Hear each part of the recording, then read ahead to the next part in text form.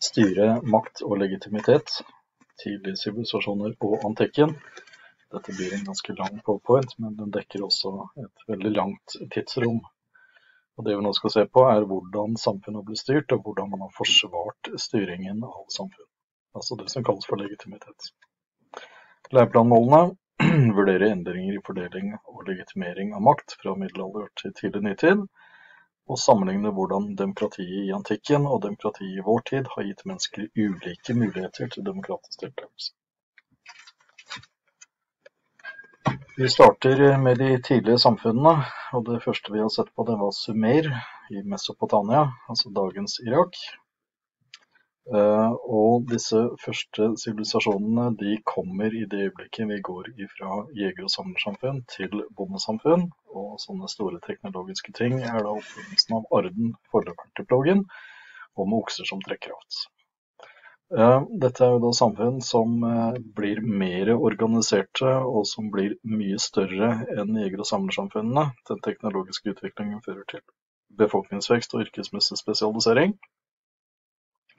Og vi får nå dannelse av landsbyer og etter hvert byer. Og disse byene de vokser fram fordi når mennesker da bor sammen, så er det lettere da å få beskyttelse ved rett og slett at man hjelper hverandre for å forsvare seg mot uh, andre uh, stammer og andre uh, folkeslag i kriger, eventuelt mot ville dyr osv. Religioner de har jo oppstått eh, samtidig med menneskene, men nå blir religionene langt mer avanserte, og det oppstår guder for de fleste ting. Og de religionene som vi kjenner i dag, er bondesamfunnsreligioner alle sammen. Opprinnelsen er der. Sumer, denne eh, første tidlige sivilisasjonen, den eh, får da dette med yrkesmessig spesialisering og et såkalt hierarki, altså en rangordning i samfunnet.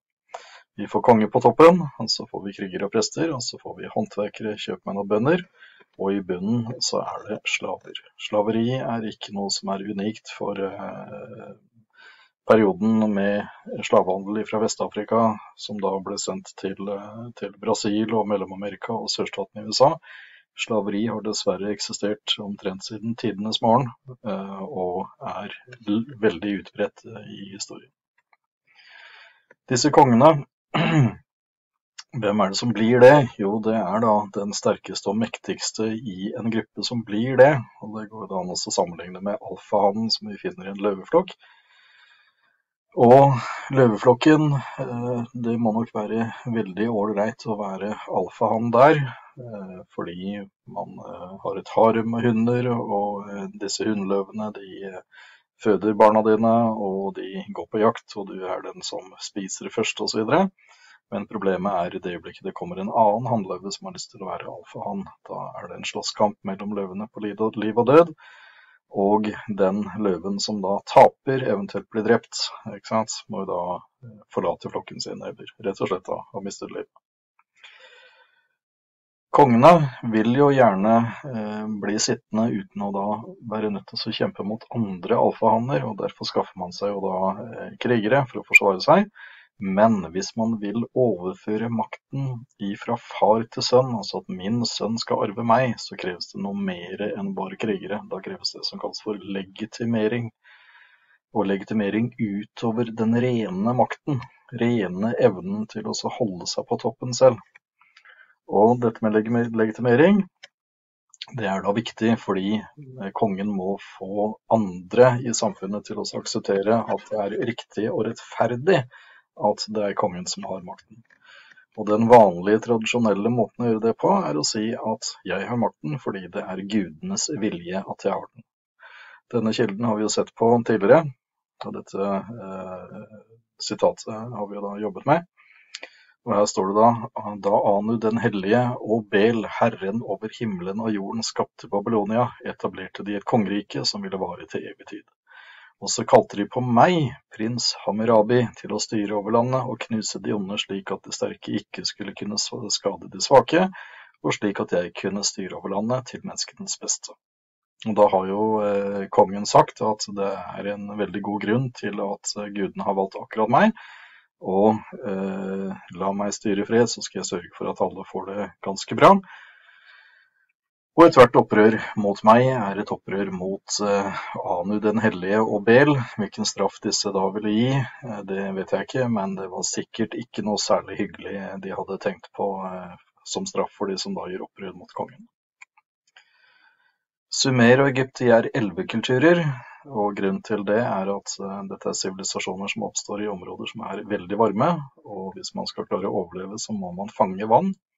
Dette er et bilde fra Egypt, og da ser dere den topografiske situasjonen. Eh, det er et ørkenområde. Eh, Egypt er en del av Sahara-ørkenen. Og dette ørkenbeltet det strekker seg da tvers over jorden på den eh, ja, 30. breddegrad nordlig i tropisk sone, subtropisk sone, heter det. Og som dere ser, der hvor elven eh, Nilen renner, der er det grønt, og resten er ørken. Og hvis man skal overleve her, så er det helt vesentlig å få kontroll på vann. Og det er det faraene og kongene gjør. Å organisere dette med å forsøke å fange vannet og holde på det og utposisjonere dette vannet i løpet av året, sånn at man får avlinger og dermed kan overleve. Dette krever organisering, og dette er grunnlaget for, for konger og det sentrale maktapparatet. For å få til dette så krever kongen inn skatter. Det vil altså si en del av det bøndene eh, tjener og produserer av mat.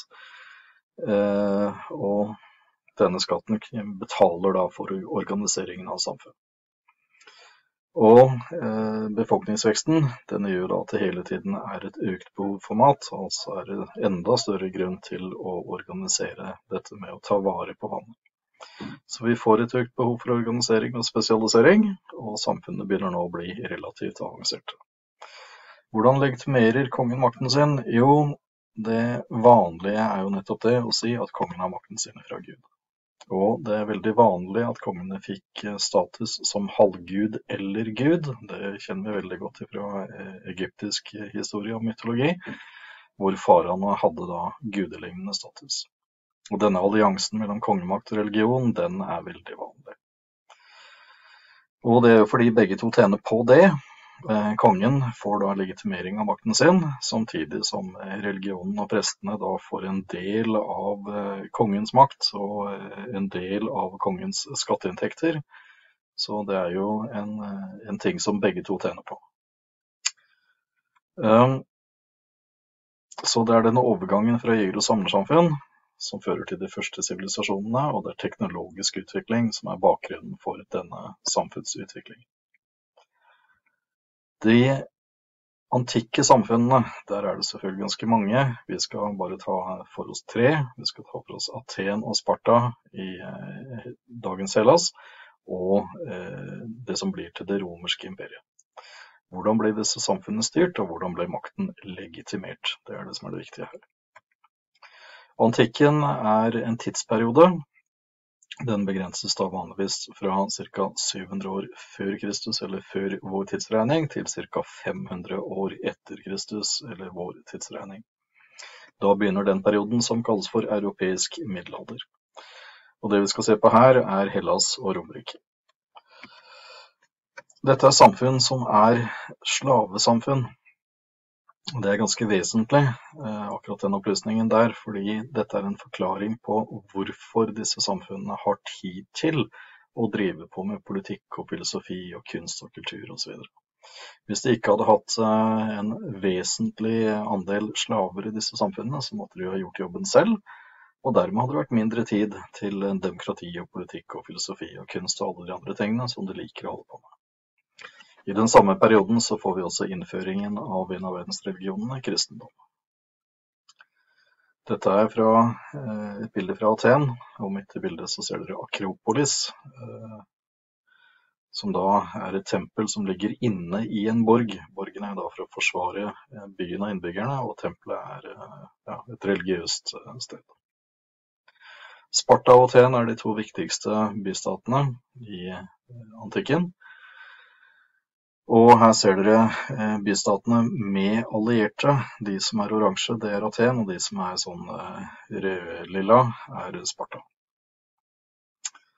Eh, teknologisk nivå, det er også det som brukes som periodeinndeling i historie. Og dere kjenner jo, fordi vi har brukt begrepene før, steinalder, bronsealder og jernalder. Og overgangen mellom disse er teknologisk utvikling, og dette har vi snakket om før. Og eh, det da å gå fra steinredskaper til metaller er et veldig viktig hopp i menneskehetens historie. Hvorfor? Jo, fordi det er langt mer effektivt å bruke bronseredskaper enn stein. Men eh, som vi har snakket om før, bronse er ganske sjeldent, og dermed var det lite utbredt. Den virkelig store tingen den kommer i det øyeblikket vi kommer til jernalderen. Og den teknologiske tingen her er hvordan lager man eh, smelteovner med høyere temperatur enn det man kan få til i et vanlig bål, og dermed kunne smelte jernmalm og eh, lage redskaper av jern isteden. Hvorfor er det så viktig? Jo, jern er mye hardere enn bronse, altså mer effektive redskaper eller våpen. Og det finnes uendelig mye mer jernmalm enn det det finnes kobber og tinn. Og dermed virker prismekanismen. Dermed er det noe som vanlige mennesker kan få tak i, og ikke bare eliten. Dette kommer til å få en eh, veldig viktig virkning, fordi når flere får tilgang til våpen, Dermed er det flere som kan være med på å forsvare borgen. Og vi får ut begrepet borger. Det som til nå hadde vært vanlig, er at kongen da betaler noen for å være krigere. Eh, men nå får vi eh, mennesker som frivillig er med på å forsvare samfunnet og borgen, og da skal de ha rettigheter. Vi får en helt vesentlig endring i måten å slåss på fra eh, individuelle kamper, kriger én mot én, og det kunne da gjerne være store hærer.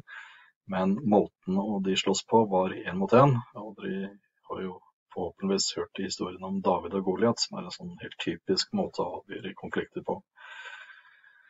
Eh, til nå å slåss i såkalte fardanser, at soldatene slåss i geledd. Eh, og eh, hver enkelt soldat skal da forsvare seg selv og siden til sin medsoldat. Skjoldet bæres da på venstre side fordi de fleste er høyrehendte. Og du skal da beskytte den høyre siden av soldaten ved siden av deg. Vi har jo så vidt kikket på 300, og der forklarer jo Leonidas denne måten å slåss på. når han sier at Efiates ikke får lov til å være med som, eh, som spartansk soldat, fordi han da ville ødelegge denne falansen. Ahorn, sier de. Så den som er borger, er en som da er med på å forsvare borgen, og da skal man ha rettigheter i samfunnet. Og det begrepet her, det har vi jo arvet direkte da fra antikken. Eh, en statsborger er det moderne begrepet, og en statsborger i det norske samfunnet er en person som har både rettigheter og plikter, Rettigheten er å få lov til å være med og bestemme hvordan samfunnet blir styrt, og i tillegg så har vi bygd opp en moderne velferdsstat osv. Pliktene betal skatt, følg lovene og avlegg militærtjeneste.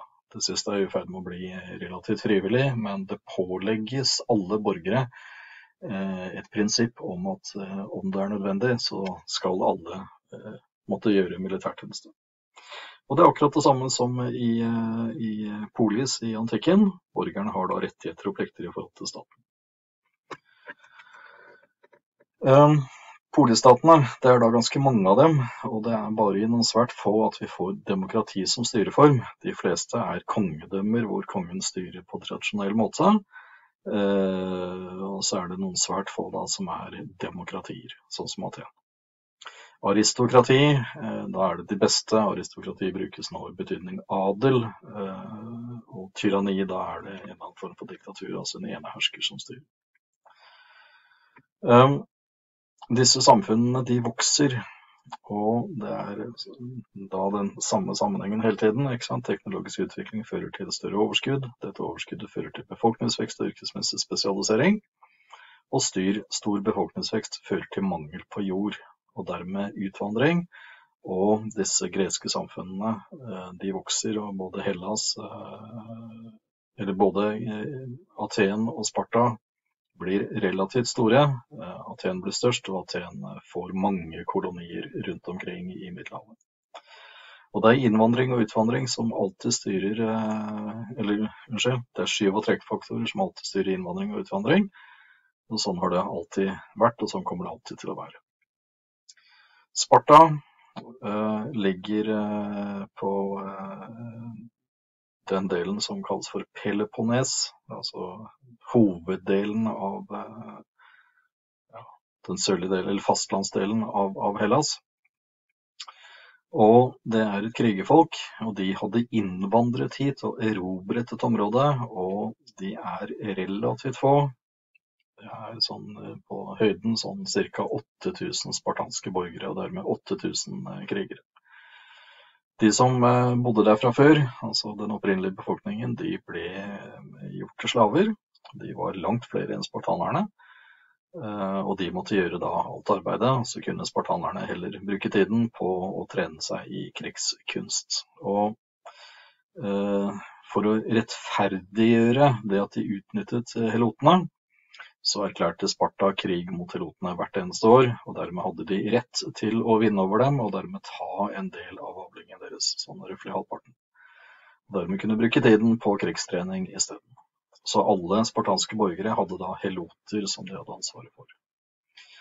Dette er Leonidas, den eh, helten som da eh, nevnes i historien om de 300. En spartansk borger er eh, en person som da eier en jordlapp, og som har kontroll over noen heloter. Og en spartansk borger kan bare bli borger hvis man er født av en spartansk borger. Altså faren din må være spartaner.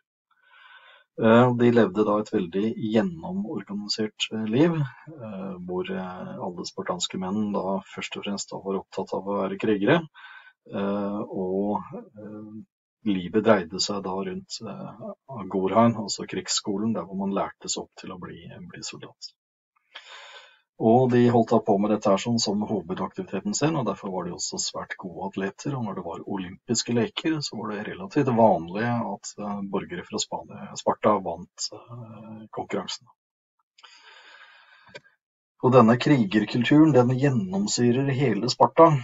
Og den største æren det er å dø i kamp for Sparta. Og for å få lov til å vokse opp i det hele tatt, uh, så måtte man være et sunt barn barn som blir født med synlige skavanker eller funksjonshemninger, det blir rett og slett uh, tatt livet av. Um, ja, der er det noen bilder av dette, da. Hvordan et lite guttebarn da blir eh, eksaminert. Og dette stemmer. Dette er historiske fakta. Dette er bilder fra 300, og det er selvfølgelig uh, en kunstnerisk framstilling av hvordan det kan ha vært. Men dette er et samfunn som da har eh, krigerkultur som eh, den viktigste verdien sin. Måten de organiserte det på, var at alle barn, alle eh, gutter på syv år, blir tatt ifra familien og så blir det sendt til denne krigerskolen av Goran. Og de har en tvungen militærtjeneste med knallhard disiplin inntil de da blir voksne, hvor de da blir medlemmer av en falangs og blir soldater for, for Sparta og de er regnet for å være antikkens aller beste krigere. Um, etter at de fyller 30, så får de lov til å gifte seg og få barn, uh, og da flytter de ut av denne agoraen. Homofili har vært uh, ganske vanlig. Riktignok så skulle det være idealet at man skulle selvfølgelig få familie og skaffe seg barn, men eh, synet på homofili sånn som vi kjenner det fra moderne tid, hvor det har vært betraktet som en synd, først er noe som da eh, blir et nytt Eller synet på dette ettersom kristendommen og etter hvert også islam vokser fram. Der er det normforbud mot homofili.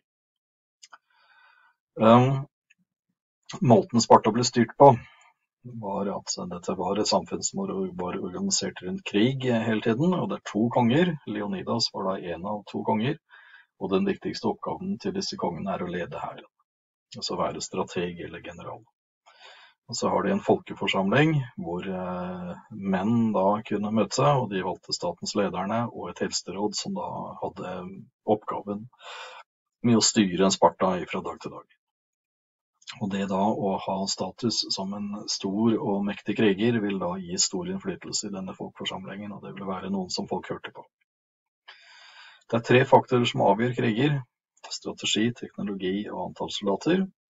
Og hvis krigene blir langvarige, så kommer den fjerde, nemlig logistikk. Evnen til å forsyne tropper med, med det de trenger av mat og ammunisjon.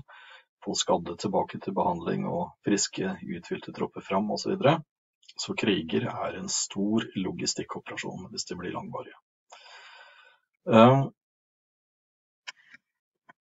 dette er også en forklaring på hvorfor Sparta ikke eh, blir eh, den dominerende staten i antikken, og hvorfor Roma på sin side lykkes. Og det er det at eh, i Aten og Hellas kan man bare bli borger hvis man er født av en, av en borger. Og hvis man da mister mange soldater i krig, sånn som Sparta f.eks. gjør, så det, tar det veldig lang tid å få opp igjen antall soldater. Romerne gjør det helt annerledes. De bruker ikke dette begrepet med toiker og fremmed. Isteden så er de veldig flinke til å dele ut statsborgerskap til andre, og dermed kan de øke antallet romerske borgere, og dermed øke størrelsen på hæren sin. Så eh, dette med borgerskap og hvordan man kan bli det, det er ganske viktig for å forklare hvorfor noen lykkes og andre ikke gjør det. Kvinnenes stilling i Sparta den var veldig sterk eh, sammenlignet med alt annet eh, i eh, samtiden. Det er ikke likestilling sånn som vi kjenner det, men at kvinnene da hadde, sammenlignet med hvordan det var i Aten, eventuelt hvordan det var i Roma, en veldig fri stilling. Og Grunnen til det er tankegangen at den eneste som kan få fram sterke, kraftige spartanske krigere, det er sterke, kraftige, frie kvinner. Og de kunne da drive på med idrett. De fikk eh, nok mat osv. Eh, nettopp fordi de da skulle være sterke og sunne. Dette er et uh, sitat fra en historiker som heter Plutark. Uh, som da forklarer hvorfor spartanske kvinner hadde en såpass sterk stilling. Sammenlignet med Aten så er det helt uh, natt og dag i måten man behandlet kvinner på. Kvinner i Aten de hadde en veldig lav status og veldig lite frihet. Og ja, rett og slett da, en veldig dårlig stilling. Så i Aten fikk de ikke lov til å late huset, ble giftet bort av sine fedre. Eh, ble nedprioritert i forhold til eh, gutter i familien. F.eks. Eh, hvis det var mangel på mat, så var det jentene som ikke fikk, osv. Det som er viktig her, I tillegg til å skjønne denne forskjellen på Sparta og Aten, er at dette kommer til å påvirke både kristendommen og islam. Og med det kvinnesynet i disse religionene. Hvorfor det? Jo, kristendommen oppstår før islam. Men når kristendommen blir organisert som religion, så er det gresk som er verdensspråket, altså på samme måte som engelsk er i dag det språket man bruker for å kommunisere med mennesker fra andre samfunn og andre kulturer. Og Nytestamentet er skrevet på gresk. Nytestamentet er jo da fortellingen om Jesus, og eh, siden det da er den greske kulturen som dominerer i middelhavsområdet, så kommer det også til å påvirke kristendommens syn på eh, forholdet mellom kvinner og menn. Islam er veldig påvirket både av jødedom og av kristendom. Eh, og dette eh, negative kvinnesynet, eller at kvinner da har en veldig dårlig posisjon i samfunn, eh, kan da føres fram fra Aten og inn i religionene senere. Aten er en veldig viktig bystat, men den er jo mindre enn det man skulle trodd. I hvert fall sammenlignet med det som kommer til å bli det store Romerriket. Eh, selve Aten er en bystat på størrelse omtrent med det norske eh, fylket Vestfold. Og det var tradisjonelt styrt av en overklasse, aristokrater eller adel, helt fram til år 500 før Kristus. Da kommer det en periode med borgerkrig og stor politisk uro, og så kommer det såkalte solonsreformer i 508. Og der begrenses adelens makt betraktelig, og man innfører et par veldig viktige eh, reformer. Det ene var at eh, atenske borgere ikke skal kunne fengsles pga. gjeld, og dermed eh, bli en form for slaver under aristokratene og adelen. Og det andre er denne tanken om at de som forsvarer borgen, de skal også få lov til å ha innflytelse, og her får vi det første demokratiet. Og demokrati som ord kommer ifra gresk, demos betyr folk, og kratein betyr styre. Demos kratein. Alle som da er frie menn, født i Aten av en atensk borger, er borgere. Kravet for å være det er at du må eie jord, og da dette med at hun må være, ha en atensk far. Eh, hvem er det som ikke har stemmerett, og hvem er det som ikke er borgere? Det er da tre grupper. Det er metoikerne. Og metoikere er frie menn fra andre bystater, fra Korint eller Sparta eller en eller annen bystat som bor i Aten. De har da ikke borgerrettigheter og har ikke stemmerett. Det kjenner vi jo igjen fra moderne samfunn. Eh, tyske statsborgere som bor i Norge, har ikke stemmerett når det er stortingsvalg i Norge, eller motsatt. Norske statsborgere bosatt i Tyskland har ikke stemmerett i Tyskland når det er eh, valg til Riksdag. Så er det slaver, som da ikke blir betraktet som mennesker i det hele tatt. De blir betraktet som levende eh, redskaper. Det er et uttrykk som Aristoteles bruker. Altså en eh, person som er slave, er da på samme måte som en hest, et eller annet som en bonde da bruker for å få fram avling. Og så er det kvinner og barn som er avhengige av eh, sine menn eller sine fedre, og som ikke er selvstendige i det hele tatt. Og de kan da ikke få stemmerett. Alle frie borgere kunne møte i folkeforsamlingen, og alle kunne bli valgt. Og alle gjorde militærtjeneste. Og så hadde de da en såkalt rådsforsamling på 500 mann som lagde loven i samfunnet. Og her kommer et par ganske viktige prinsipper. For å bevare denne likheten mellom borgerne, så ble alle viktige stillinger valgt ved loddtrekning. Og så innførte man lønn, sånn at det skulle ikke være noe eh, hinder at eh, du da ikke var rik, eller at bare rike mennesker kunne holde på med politikk. Så lenge du da fikk lønn, så ville du ha noe å leve av så lenge du var politiker. Eh, den eneste stillingen som ikke velges ved loddtrekning i Aten, det er strategene, altså de som da leder hæren i krig. Og Det er fordi det er så spesialisert kunnskap at eh, det må være de beste og mest erfarne som leder hæren. Og Dette loddtrekningsprinsippet det bruker de da for å hindre at eh, det skal vokse fram igjen en ny sånn adel og et aristokrati som er mye mektigere og rikere enn andre. Og i Aten så har de direkte demokrati. Det bruker vi i liten grad i moderne demokratier, og forklaringen er såpass enkel som at Aten var relativt lite. Ehm, og ikke så veldig mange borgere, og dermed kunne de ta beslutningene direkte selv. I moderne demokratier så er vi blitt så mange. Det er ikke noe sted hvor man kan samle hele den stemmeberettigede delen av den norske befolkningen. Det vil være over tre millioner mennesker. Og man kan ikke la alle sammen tegne seg på en talerliste og si meningen sin, og derfor er alle moderne demokratier såkalte representative.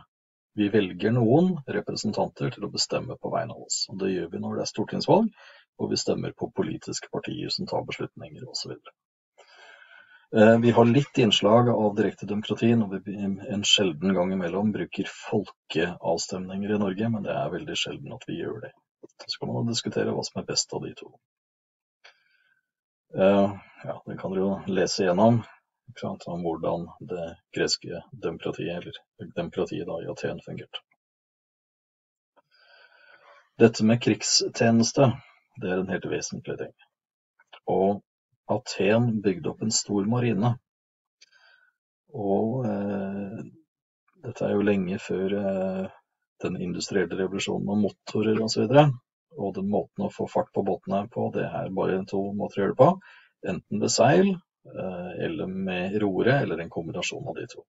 Men man har ikke utviklet seilene som gjør at man kan styre båten opp mot vinden. Og dermed er båtene, krigsskipene i antikken, de er først og fremst da drevet fram av roret. Og eh, Dette her sånn er da med på å forklare hvorfor fattige eh, kunne få borgerrett. Fordi fattige borgere da kunne tjenestegjøre som roret, og dermed være med på å avgjøre krigen. Det blir en veldig heftig maktkamp i eh, den østlige delen av Middelhavet, mellom Perserriket og de greske bystatene. Og det kommer til å danne utgangspunktet for et stort sjøforbund, hvor Aten er eh, utgangspunktet og den viktigste staten. Og dette kommer til å bli eh, det atenske imperiet og legge grunnlaget for en kulturell og vitenskapelig storhetstid. Og det er i denne perioden her vi får eh, Platon, Aristoteles og Sokrates og eh, Pythagoras og alle de andre såkalte greske filosofene. Ja, her ser dere tverrsnitt av en sånn eh, et gresk krigsskip, trirem. Og her ser dere at de da dundrer i hverandre i et sjøslag. Det persiske riket var mektig, og de hadde da erobret eh, store deler av det området som i dag kaller for Midtøsten. Eh, og de forsøkte å utvide riket sitt eh, mot dagens Hellas, altså de greske bystatene. Og ser du da hvor stort det persiske riket er. Og den persiske kongen, som da den mektigste kongen i verden i den perioden. Når de da forsøker å utvide riket sitt mot Aten, så får vi en allianse mellom eh, Aten og Sparta. Og det er ikke fordi de liker hverandre, men fordi min fiendes fiende er min venn, og de har begge to en felles fiende i, eh, i perserne. Og vi får flere store slag. Slag ved maraton, som grekerne vinner. Og der kan dere få fun facten. Hvor kommer ordet maratonløp ifra?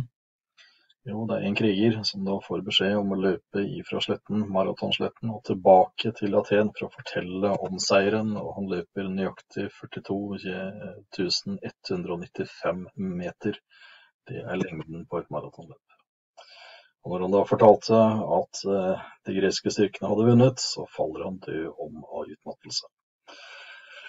Eh, sjøslaget ved Salamis, der eh, utmanøvrerer de perserne og holder eh, de persiske styrkene unna i en relativt lang periode. Grunnen til at de kan klare å slå disse egentlig overlegne persiske styrkene, har med, med, teknologi å gjøre. og De har et våpen som kalles for gresk ild. Akkurat hva det er, det vet vi ikke. Det er det ingen opptegnelse på, men det er et eller annet stoff eh, som da brant eh, veldig heftig. Og selv om man da kastet vann på, så eh, hvis dette vannet da fordampet bort eller rant bort, så ville det selvantenne igjen i kontakt med, med oksygen.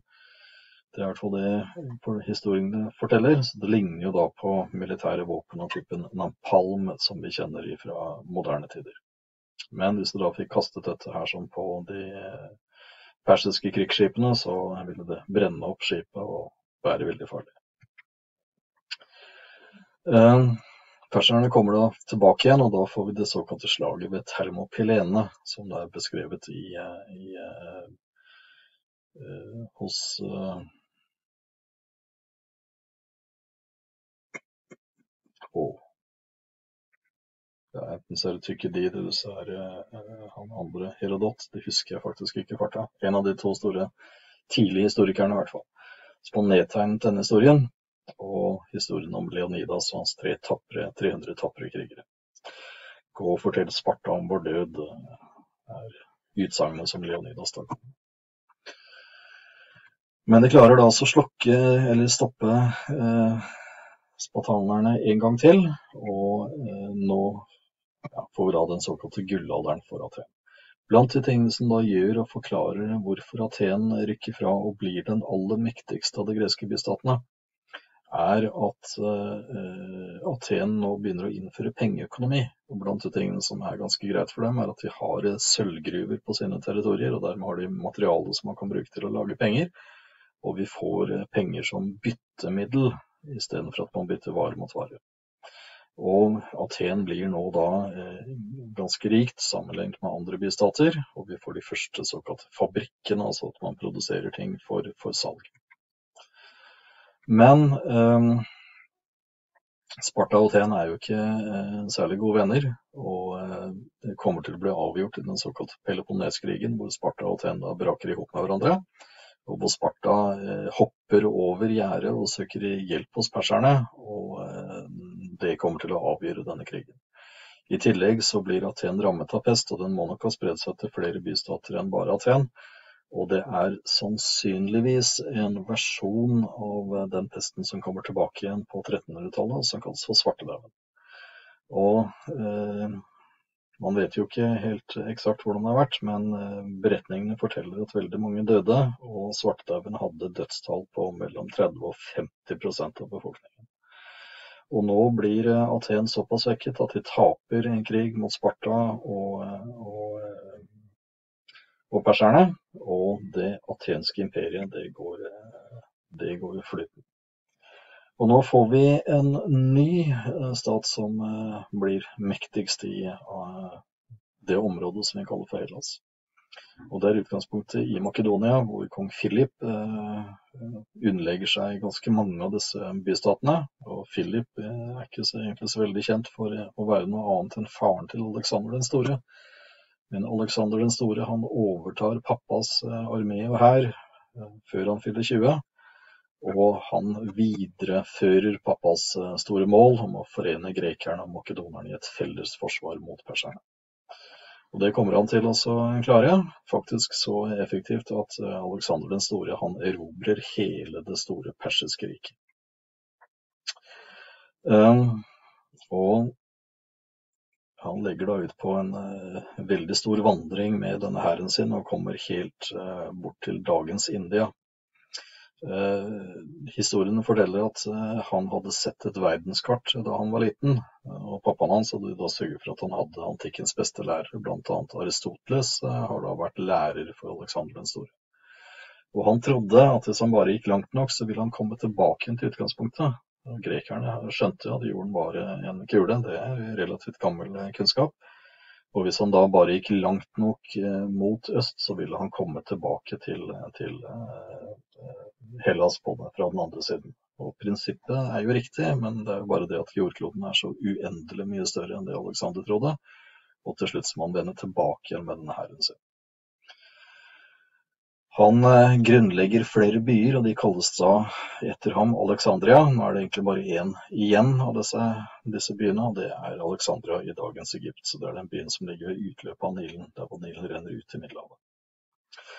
Uh, ja, og han tar bl.a. Egypt, og de egyptiske faraoene etter uh, Alexander, de er makedonske. Så da har de altså byttet ut kongefamilien sin. Og det mest kjente av dem er Kleopatra, som kommer til å bli kjæreste med, med Cæsar osv. litt senere enn dette. Um, Alexander den store han dør ganske tidlig, før han fyller 30. Men den viktigste konsekvensen av imperiet hans er at han sprer da, den greske kulturen i alle de områdene som han erobrer. Og gresk blir, blir nå det første verdensspråket. Altså et språk som da alle kan gjøre seg forstått på hvis man drar til et annet samfunn. Så eh, verden blir ikke styrt ifra Hellas. Og det er mye vi har lært ifra den, den greske antikken, men det er Romerriket som kommer til å bli den store statsdannelsen og det store imperiet. Her ser dere et bilde av Romerriket da det er på sin aller største utbredelse. Eh, Romerriket er da en av de mest vellykkede statsdannelsene i verdenshistorien. Og de har et imperium i 1200 eh, år. Da går det vestromerske riket i oppløsning, og så fortsetter det østromerske riket, det som er utgangspunktet i eh, dagens Istanbul. Det heter Konstantinopel når romerne holdt på. og Så skiftet det navn til Bysants etter hvert. og De holdt på da i nesten 1000 år til, til 1423, eh, hvor de blir erobret av eh. Så vi kan da si at det romerske imperiet varte i nesten 2000 år.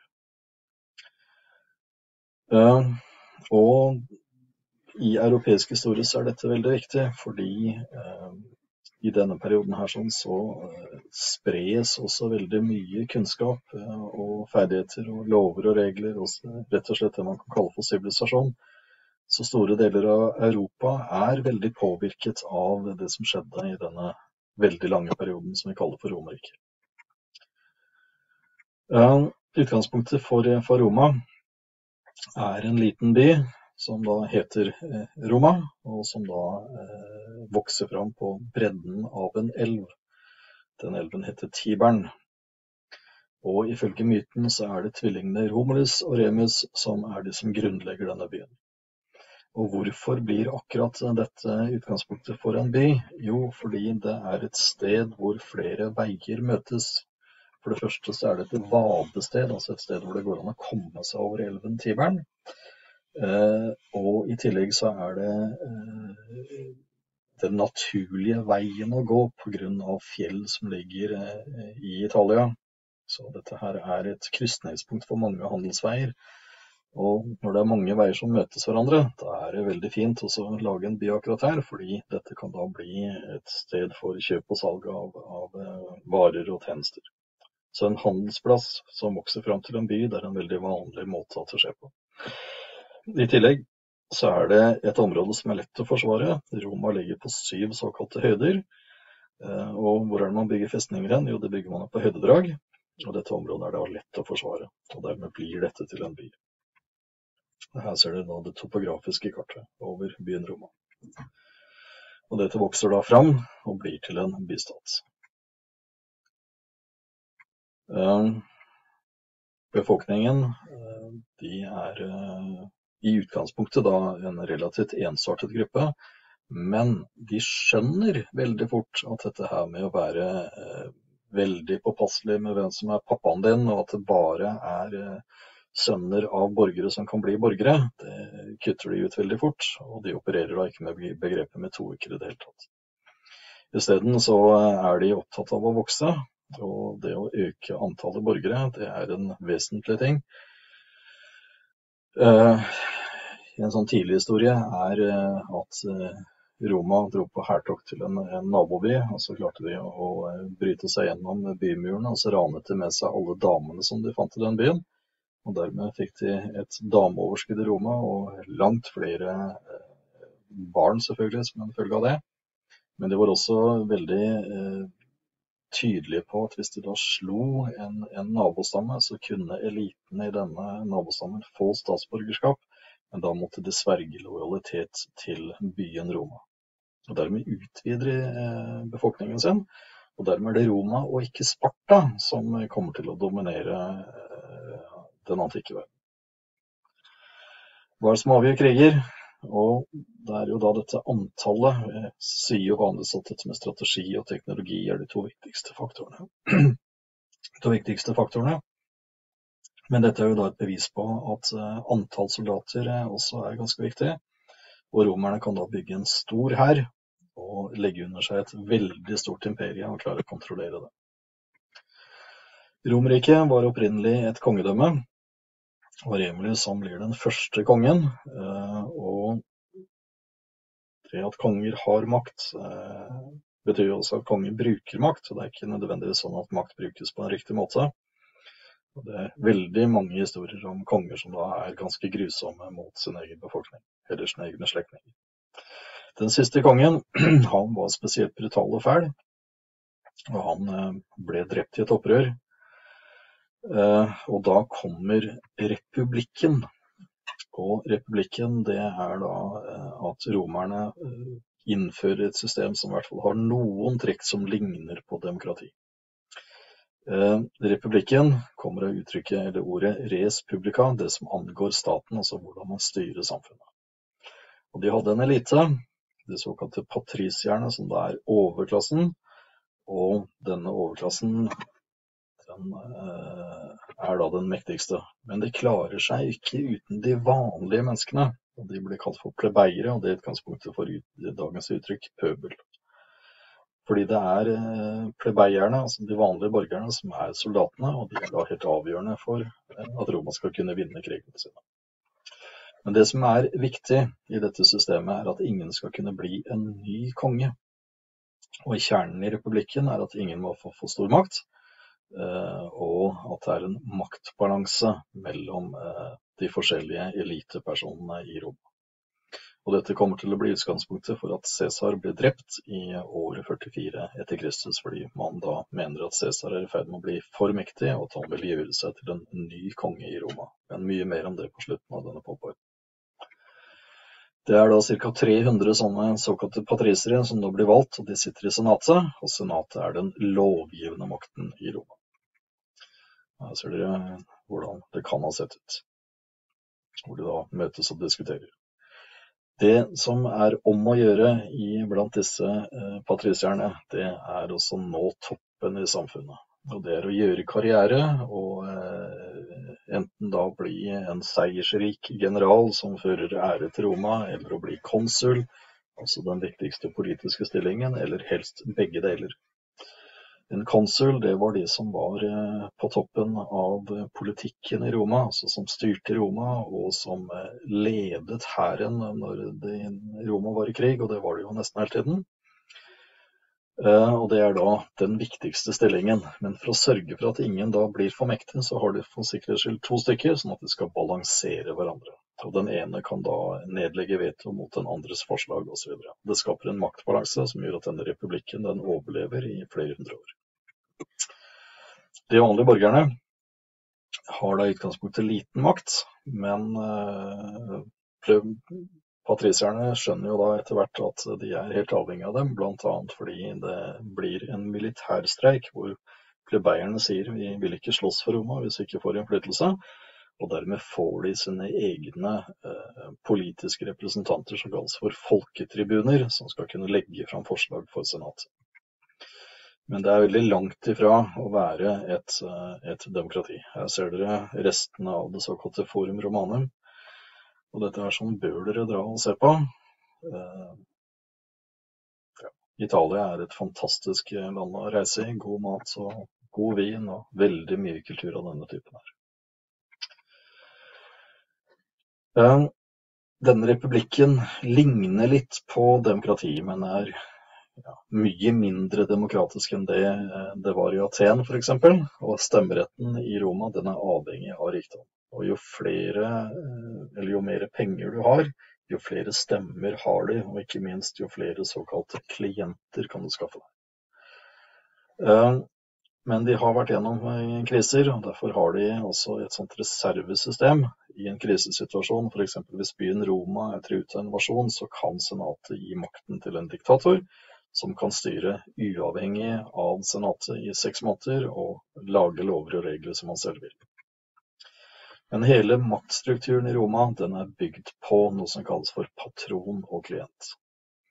Patron det er en stor, eh, rik og mektig person som deler ut gaver. Og en gave har vært en motgave, og hvis det da er sånn at en rik mann deler ut mat eller arbeid eller beskyttelse eller noe sånt, så skal han ha noe igjen. Og det var om å gjøre å skaffe seg så mange klienter som mulig, fordi disse klientene kunne brukes da som stemmer i valg. Og jo mer en rik person da delte ut godene sine, jo flere klienter vil han da faktisk ha. Og dermed innflytelse når det er valg i Roma. Um, Roma vokser, spesielt fra 400-tallet før Kristus, og det er da i stadige stadig konflikter med nabostammene sine. Og de vinner de aller fleste av disse, og øker da området sitt. Men de er da såpass smarte at de da også øker antallet soldater, eh, som gjør at de da får en større og større hær. Men jo større Roma blir, jo vanskeligere blir dette. For i utgangspunktet så hadde de akkurat som i Aten og Sparta brukt borgere som, eh, som soldater. Og en borger er en som da eier jord, og som gjør krigstjeneste. Men hvis man eier jord og er bonde, så kan man ikke holde på med krig hele tiden. Og man kan ikke krige spesielt langt fra gården sin, for da rekker man ikke hjem eh, om våren for å så, eller på høsten for å høste inn avlingen. Så løsningen blir etter hvert å profesjonalisere hæren. Og når de gjør det, så tar de et veldig viktig steg. Det er um, flere ting her som er viktig, bl.a. at dette her gir uh, fattige mennesker i Roma en ny yrkesvei. De kan da verve seg og bli soldater for staten Roma. Og det vanlige var å ha 20 års tjenestetid, altså ganske lang militærtjeneste. Fordelen, hvis man da overlevde de 20 årene, er at eh, man da ville få jord i en av provinsene. Altså et av de områdene som Roma hadde okkupert. Og det er jo fint for en fattig person å ende opp med å få sin egen jord, sin egen gård. For Roma sin del så er det da altså få spredt soldater rundt omkring i imperiet, og selv om de er pensjonister, så kan de jo da brukes i eh, en eventuell krisesituasjon. Og ikke minst disse bøndene vil jo få sønner, som igjen da kan rekrutteres som krigere for, for Roma. Så eh, det da å bli eh, soldat i den romerske hæren er en karrierevei som veldig mange mennesker da velger. Etter hvert som de da eh, underlegger seg dette imperiet, så begynner de også å rekruttere inn soldater fra de erobrede områdene. Og eh, for dem, i tillegg til eh, å ha et yrke i 20 år og få seg sin gård etterpå, så kunne de også få romersk borgerrett. Og dermed øker antallet romerske borgere vesentlig. Det å få romersk borgerrett det må ha vært ganske kult, for da er du også beskyttet av lovene i Roma. Og hvis noen andre gjør noe gærent mot deg, så ville staten Roma faktisk kunne hjelpe deg. Så det ble nok sett på som usedvanlig attraktivt å være romersk borger. Denne profesjonelle hæren den kan da trenes året rundt, og det kan stasjoneres langt hjemmefra og dermed passe på provinsene. Og det kan flyttes dit hvor det er behov. Men det tror jeg ikke har vært noen spesiell, eh, spesielt enkel eh, måte å leve på. Fordi romerne var kjent for å ha en knallhard disiplin um, for soldatene sine. F.eks. så var det helt vanlig med dødsstraff hvis man da utviste feighet i kamp. Altså ikke gikk på og forsøkte å nedkjempe fienden. Og korsfestelse, som dere kjenner ifra eh, historien om Jesus osv. var en helt vanlig straff som romerne brukte. De kunne faktisk da også dømme sine egne soldater til det. En spesiell ting som de hadde, er det som kalles for desimering. I dag bruker vi uttrykket desimering om noe som blir eh, redusert. Eh, men uttrykket kommer ifra en straff som generalen kunne gi eh, en eh, ja, f.eks. en centurion, altså 100 soldater, det var en enhet i den romerske hæren. Hvis den da hadde gjort en dårlig innsats på, på slagmarken og vært feige, så kunne han da dømme de til desimering. Og Det betyr at hver tiende mann eh, dømmes til døden. Det ble avgjort ved loddtrekning. Og de ni andre hadde som oppgave å eh, slå sine kamerater i hjel. Da kan dere tenke dere hvor brutalt dette er. Og hvis de ikke gjorde det, så ville de bli henrettet selv. Og dermed har man en knallhard disiplin som gjør at disse troppene de, eh, de slåss eh, rett og slett for livet når Roma er i krig. I tillegg så ble de utsatt for en usedvanlig tung og hard trening hele tiden. Og treningsvåpenet deres var mye tyngre enn de våpnene som de brukte i kamp. Og dermed fikk man soldater som var usedvanlig sterke og veltrente. Og en romersk hæravdeling, en romersk legion, skulle kunne klare å marsjere av gårde på romerske veier 30 km hver dag i en uendelighet. Og hvis noen av dere har forsøkt å gå 30 km, så vet dere at det faktisk er skikkelig langt. Og det skal du være i stand til å gjøre med våpen og utstyr dag etter dag etter dag. Så en veldig godt trent hær, og en veldig effektiv hær. Og det er denne hæren som da eh, gjør at de utvider seg og får stadig større og større eh, landområder. Og romerne var eh, barmhjertige, men også knallharde. Når de da lå i konflikt med en nabostamme, så kunne de da si til dem at eh, vi kan avgjøre dette her uten kamp, men da må dere gi dere. Eliten vil få romersk statsborgerskap, og de vanlige borgerne kan verve seg i hæren osv. Men hvis dere nekter, så blir dere utslettet eller slaver. Og hvis det da står en legion eller to på utsiden av byporten din, så er jo det for ganske mange et relativt enkelt valg. Og dermed vokste eh, Roma. Dette er et slavesamfunn, og de som da taper i krig, spesielt da hvis man har fått valget, gi dere og bli betraktet som venner, eller uh, sette i gang krigen mot oss og vi uh, gruser dere, der kommer da dette med å være krigsfange som at skjebnen da å overleve en krig er å bli slave. Og Roma er slavesamfunn. Og veldig mye av eh, arbeidet i Roma, byggingen av Colosseum eller akvadukter eller romerveier osv., blir da gjort av slaver. Så det kan ikke ha vært noen særlig hyggelig skjebne. Ja, dette er et romersk legionstegn. nederst så står det SPQR. Det står for Senate Populescu Romanus, Senatet og det romerske folk. Og over så har dere den romerske ørnen, som da hver enkelt legion hadde. Og denne her er en legion som har utmerket seg i kamp, og de har fått en laurbærkrans som de kan putte over ørnen sin. Veldig heftig, dette her. I klørne til ørnen så er det tordenkiler, og det er symbolet på den viktigste romerske guden Jupiter. Og Jupiter han kaster da sånne eh, lyn, da, eller tordenkiler, mot fiendene sine for å utslette dem. Så den romerske eh, legionen har da den samme kraften som guden Jupiter. Viktig symbol. Romerne underlegger seg da mesteparten av det italienske halvøyen, og så eh, starter de erobringen av resten av middelhavsområdet. Men da må vi en kjapp tur innom Kartago for å forklare hvordan de gjør det. Fordi Roma går fra å være landmakt til å være både en landmakt og en sjømakt. Og grunnen til, eller måten det skjer på, er konflikten deres med Kartago. Kartago var en annen stor by som ligger i det området som i dag heter Tunis, altså i den nordlige delen av Afrika. Afrika. Og Kartago er en sjømakt. Og til å begynne med så har ikke Kartago noe særlig problem med å holde romerne mer eller mindre innesperret på den italienske halvøya, fordi de har ikke en marine. Men eh, romerne har litt flaks, for de klarer også å erobre et såkalt kartagensk krigsskip. Og Det er jo ganske imponerende når de ikke egentlig har marinestyrker. Og så er de innmari flinke til å være ingeniører, og de ser da hvordan denne båten er bygd, kopierer den og begynner oppbyggingen av sin egen krigsflåte. Og når de har gjort det, så begynner kampene mot, uh, mot Kartago. Og nå erobrer de Sicilia, Korsika og begynner å legge under seg da områdene rundt eh, Middelhavet. Og da kommer de i en ganske heftig konflikt med denne byen eh, Kartago.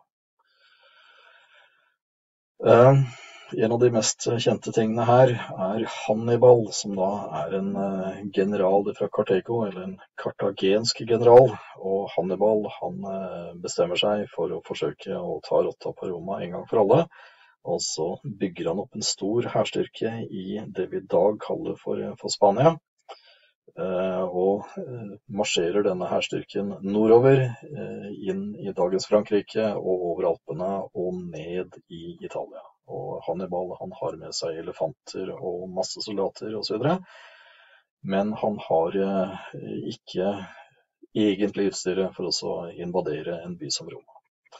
Og det blir mange og store og heftige slag, og han holder på i 15 år med å forsøke å ta knekken på Roma.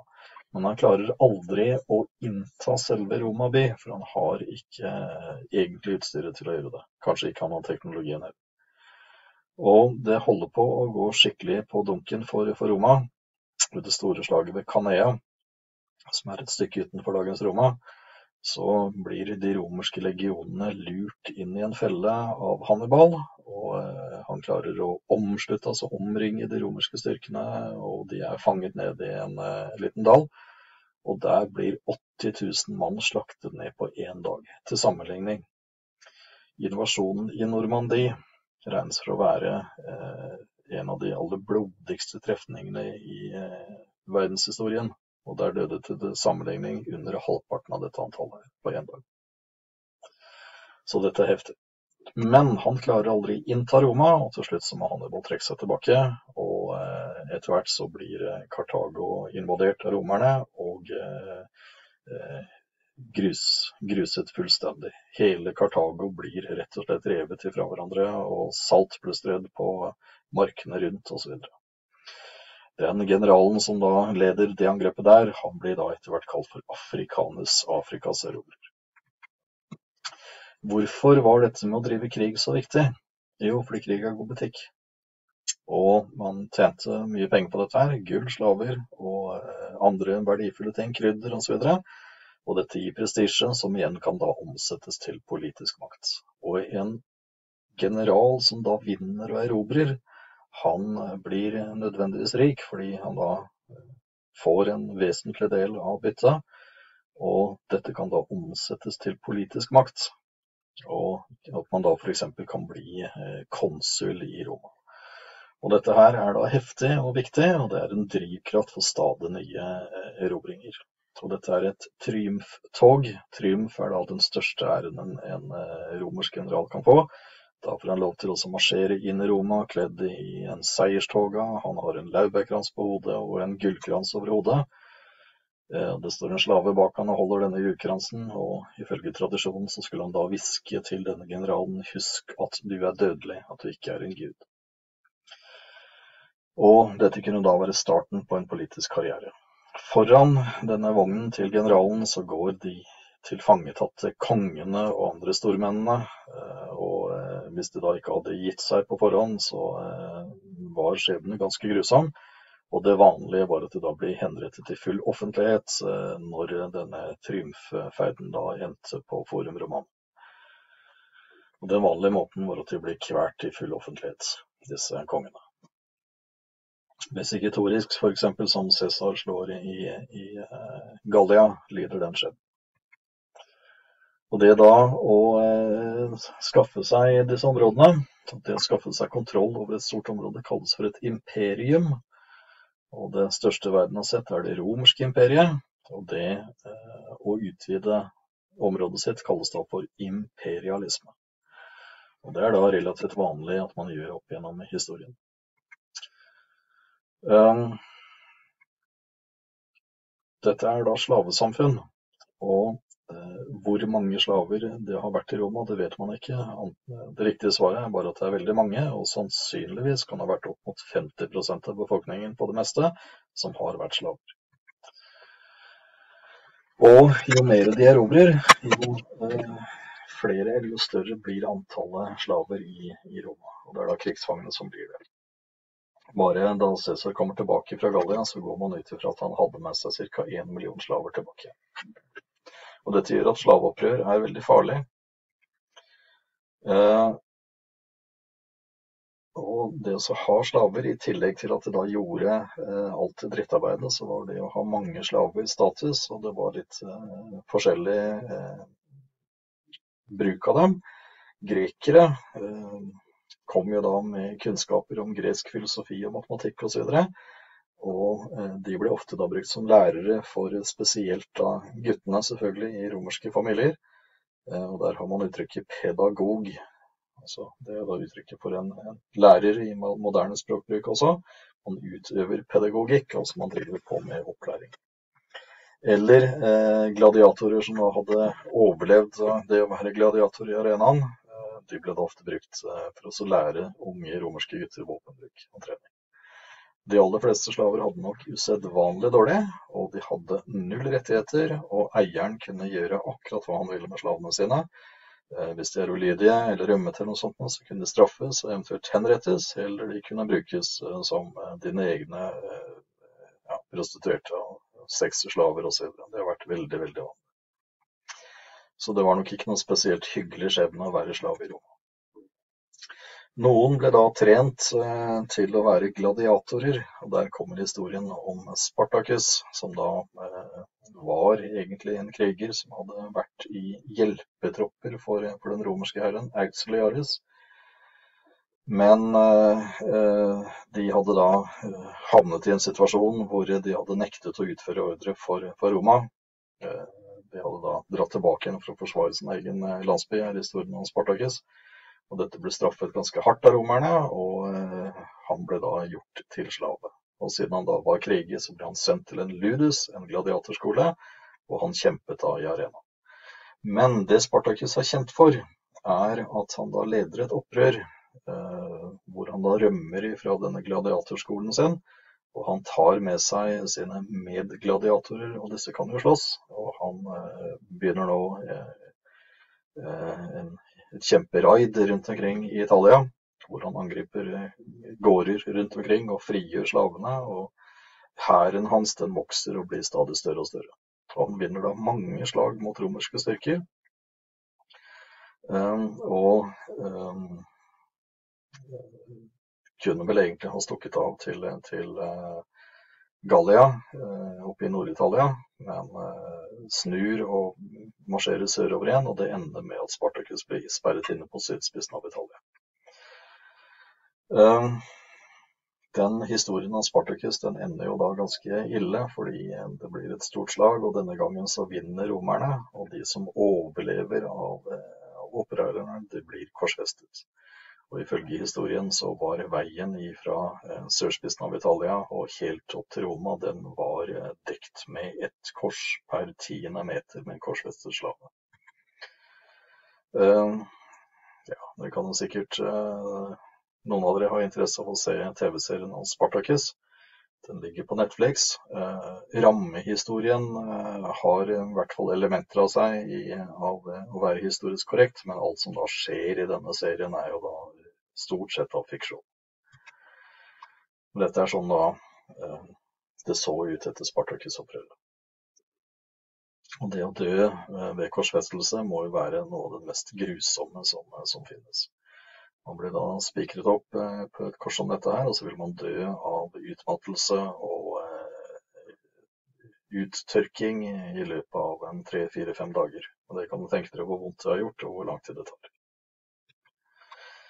Historien om Cæsar skal avslutte uh, historien om antikken.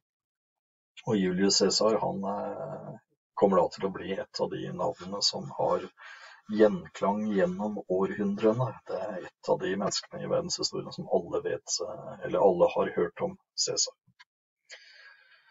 Julius Gaius Cæsar, som er familienavnet hans, han eh, kommer ifra en familie som har veldig stor prestisje i form av navnet sitt. Disse er julianere. Og ifølge historien, eller familiehistorien deres så kan de da føre eh, anene sine tilbake igjen til eh, den greske gudinnen Julia. Men de har ikke noe særlig penger. Og da hjelper det ikke så veldig mye i Romerike. Og eh, Cæsar han eh, forsøker da altså å forbedre posisjonen sin og øke familiens inntekter osv. ved eh, å gjøre militær karriere. Og denne republikken det er jo da elitepersoner som da konkurrerer om makten, og det da også gjøre militær karriere, det må da bli sett på som den viktigste måten å, å øke posisjonen sin på. Men ikke overraskende så fører jo denne konkurransen mellom patrisere til eh, stor indre uro, og Roma har flere perioder med borgerkriger, og Cæsar han eh, lever da i en sånn periode med borgerkriger. Det som er mest eh, den viktigste delen av Cæsars liv, som er ganske interessant hele dette her, men det er hvordan han da klarer å erobre Gallia. Gallia er da et av de områdene som de ikke har klart å skaffe seg kontroll over.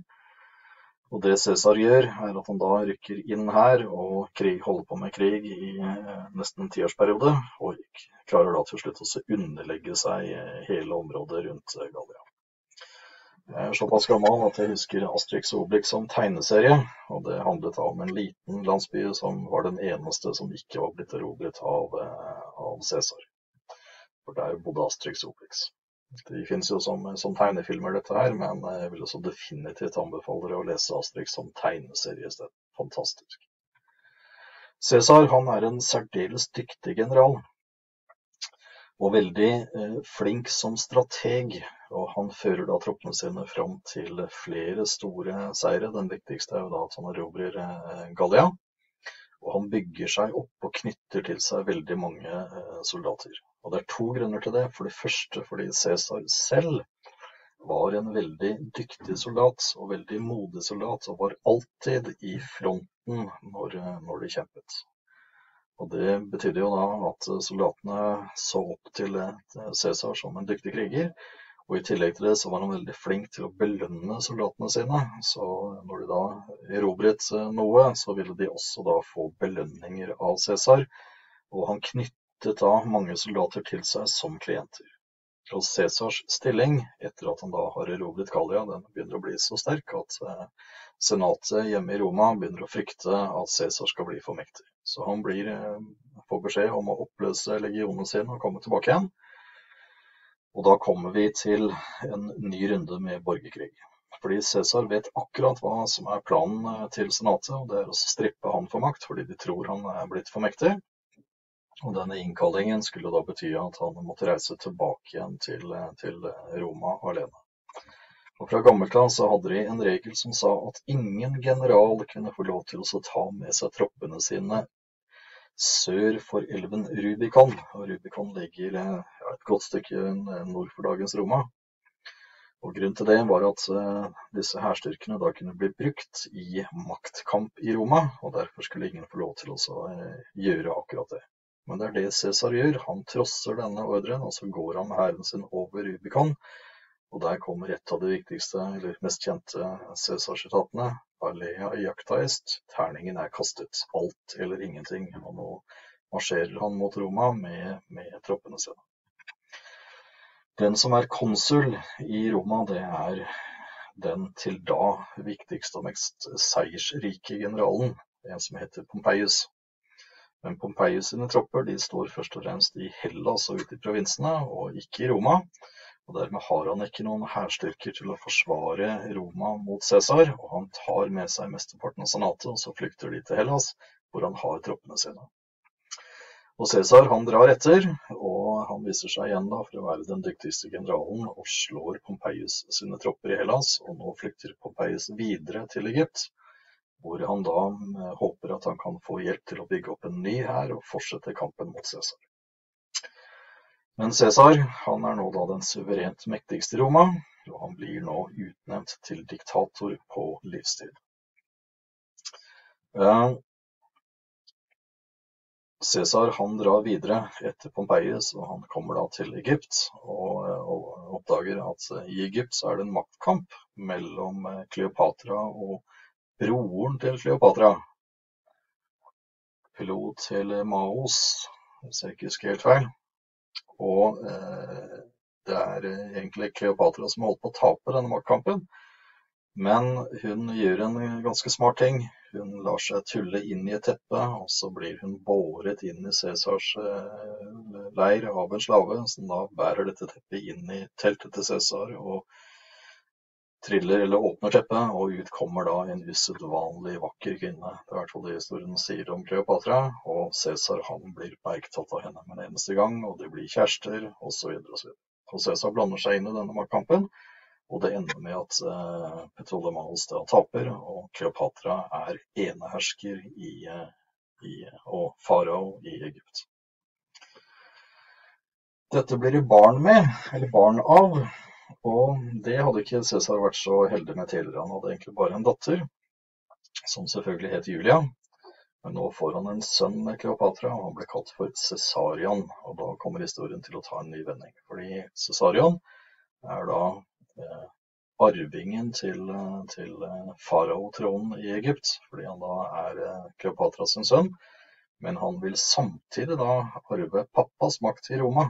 Og da er det mange i senatet som frykter at Cæsar kommer til å gjøre seg selv til konge. Og det var jo det som var utgangspunktet for republikken, at de ikke ville ha flere konger. Og dermed blir det konstruerte et komplott mot Cæsar, og han ble drept på et møte i senatet den 5. mars år 44 før vår tidsregning, eller før Kristus. Og her er da en kunstnerisk framstilling av mordet på Cæsar. Det kommer til å føre til en ny runde med borgerkriger, og nå er det Cæsars viktigste general, Marcus Antonius, som overtar eh, til Cæsar. Eh, og han kommer i en konflikt med en av Cæsars adoptivsønner. Når han da ikke hadde sønner selv, så var det helt vanlig å adoptere, og det hadde han gjort. Og Oktavian er da eh, en som da er eh, adoptert inn i Cæsars familie. Antonius han overtar også eh, Kleopatra og får barn med henne osv. Og eh, Oktavian eh, beskylder Antonius for å ha forsøkt, eller forsøker å gjøre akkurat det samme som man hadde beskyldt Cæsar for, nemlig planlegge å bli enehersker i Roma. Så det blir eh, krig på nytt, og Oktavian han vinner et stort sjøslag mot Marcus Antonius og Kleopatra sine tropper. Og når han da marsjerer mot, mot Egypt og Alexandria, så begår de selvmord. Antonius han eh, lar seg stikke i, eh, ja, øverst i, i, ryggen. Eh, den vanlige måten å begå selvmord på blant romerske elitepersoner. La en slave da stikke sverdet ned i nakken og tvers gjennom ryggraden og ned i hjerte-lungeregionen. Da dør man med en eneste gang. Kleopatra, ifølge historien, hun lot seg bite av en giftslange, og så døde begge to. Hvor det ble av Cesarion, det vet man ikke, men sannsynligvis så var det romerske soldater som tok, tok livet av han også. Den som nå står igjen som seierherren, det er Oktavian. Og han gjør en ganske viktig ting. Han skjønner at dette her med at soldater blir klienter hos generalene, det er en skikkelig farlig ting. Så han forlanger nå at alle romerske soldater skal være hans klienter. Egypt blir hans personlige eiendom, og han er, er nå den mektigste personen i, eh, i Romerike. Og han sørger for at ingen generaler skal kunne bli så mektige som det Cæsar har vært, og dermed at man skal forsøke å få slutt på borgerkrigen i Roma. Og det lykkes han med, og nå kommer den såkalte romerske freden, en 200-årsperiode med fred i hele det romerske riket. Uh, han er jo mest kjent under navnet Augustus, og det er ikke et navn, det er en tittel som han får av senatet. Augustus betyr den aktverdige, altså den som uh, er den fremste borgeren. Uh, og han er da den øverste militære, religiøse og politiske lederen i Roma. Og så gjør han en eh, ting for å legitimere makten sin. Han utnevner eh, sin adoptivfar Cæsar til gud.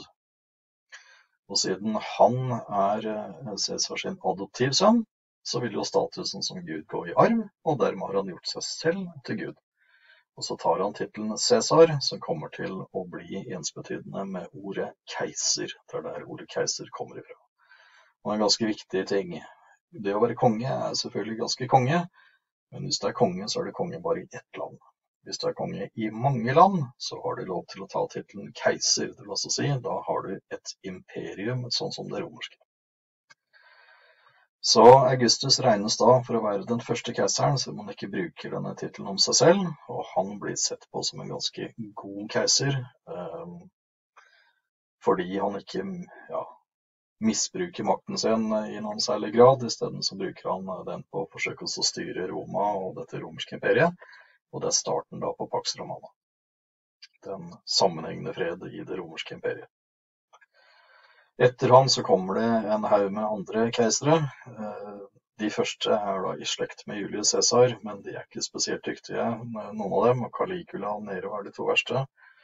Eh, og etter hvert da, etter Nero, så er det ikke flere arvinger igjen etter Cæsar, eller som kan sies å være i familie med Cæsar.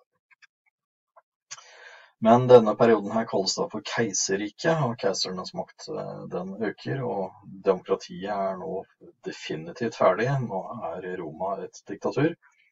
Og keisernes makt har vært veldig veldig stor, og de kunne da dømme hvem de ville til døden uten noe eh, rettssak osv. Og, så og den vanligste tiltalen var en eller annen form for forræderi.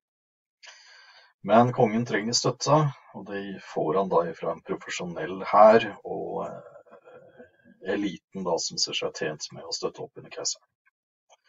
Riket vokser, og igjen da dette her med, med erobringer er god butikk. Men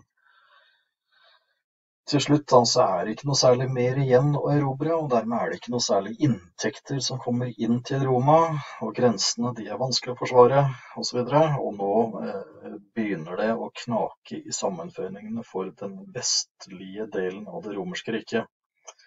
Eh, og det kommer flere invasjoner, spesielt da fra eh, det området som i dag er Nord-Tyskland, Germania. Der er det flere barbarerstammer som da rykker inn. Og det kommer samtidig eh, invasjoner fra øst. Det som etter hvert kalles for hunere og Attila osv. De har liksom ikke kommet, eller Attila har ikke kommet riktig ned ennå, men det er invasjoner derifra. Og det begynner å bli vanskelig å forsvare hele dette store romerske imperiet. Um, så den lange linjen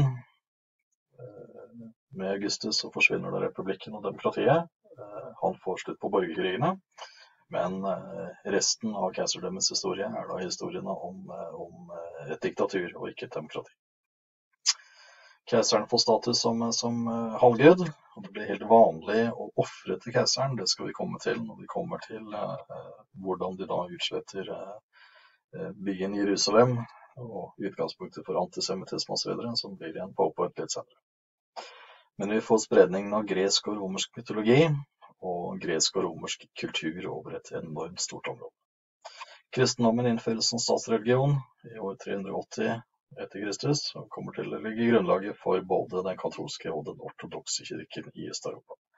Paven sin tittel er egentlig biskop i Roma, så det viser da utgangspunktet med det romerske imperiet.